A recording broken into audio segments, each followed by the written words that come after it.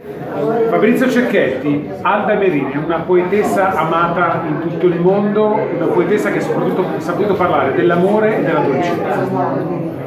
Alda Merini è Alda Merini, punto. Eh, rappresenta anche la milanesità, è Milano nel mondo. Oggi poi è il suo compleanno, 86 anni, avrebbe compiuto una poetessa che sta entrando ogni giorno in più nel cuore di non solo i milanesi, i lombardi, degli italiani, ma addirittura a livello mondiale, grazie anche alla traduzione delle sue opere in lingua spagnola a milioni e milioni di persone.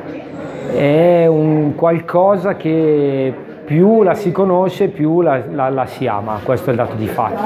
Per questo è, è, importante oggi essere qui proprio a Casa Merini perché sui Navigli, Milano, cuore di Milano, perché è un momento veramente fantastico ed emozionante.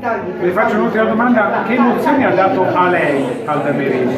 Ma l'ho conosciuta al tempo del liceo, eh, era ancora vivente, l'ho apprezzata come tante volte capita quando poi uno non c'è più. Più la conosci, più la ami e più ti senti coinvolto nei, nelle sue poesie, nei suoi aforismi.